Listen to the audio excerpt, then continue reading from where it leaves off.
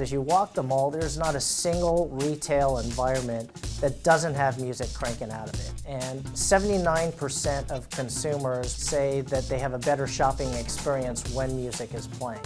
So we're kind of taking that brick and mortar thesis and bringing it online. At Feed FM, we provide curated media and music experiences for apps, brands, games.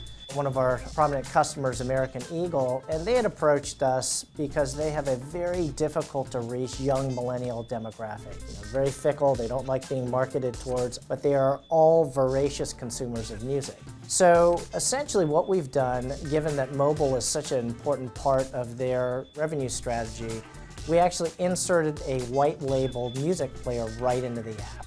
You open the home screen, tap the radio, and all of a sudden a, a, music player appears. You hit play, and really the whole idea was to immerse the consumer into a virtual shopping experience that in many ways mimics or replicates what happens in store.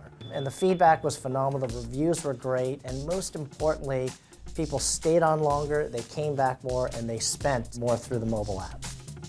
Really, we try to do three things for our customers. Number one, build engagement. Number two, retention. And most importantly, drive conversions. Licensing rights are very, very complex and very, very hard to get done. So that's really where Feed FM comes in, where we simplify that process. We handle all of the legal issues, payment to the rights holders. You know, we provide a curated service, so we've got music experts in-house to actually help brands figure out what music makes the most sense for them. But most importantly, we then track it. We actually look at the data. What do people like? What do they dislike? What do they skip? In some cases, what music are they listening to when conversions are made?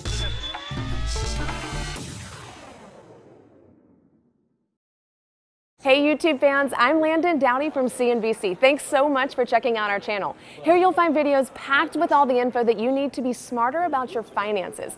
Be sure and subscribe by clicking right here and click on all the videos around me to see CNBC's original series Young Money, Tech Bet, Cramer's Mad Money, and all the latest from CNBC.